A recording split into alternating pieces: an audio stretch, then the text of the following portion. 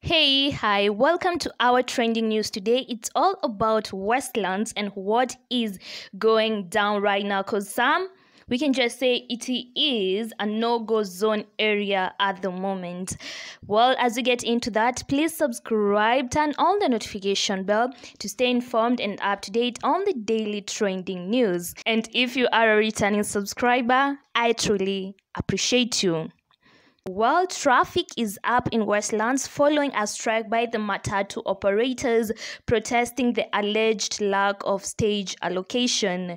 We can also say that transport is indeed paralyzed on the Waiyaki Way in Westlands, Nairobi, as the Matatu operators engage in police in running battle protest. According to some netizens, they state that the strike by the Matatus in Westlands is justified. How does Ken Hart remove a big and crucial bus terminus that serves Westlands and Parklands without giving alternatives. Another person states that matatus and buses are on strike at Westlands roundabout. The result of public transport being intentionally ignored and secluded by the roads authorities.